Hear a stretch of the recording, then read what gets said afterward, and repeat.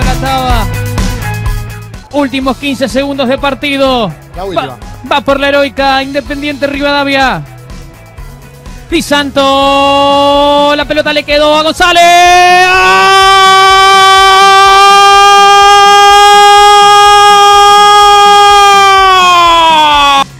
Qué difícil que la pelota pase. Hilario Navarro recontra tapado, ¿eh? Que, te digo, es prácticamente imposible que la pelota pase por ahí. Va González. El remate de Gastón González.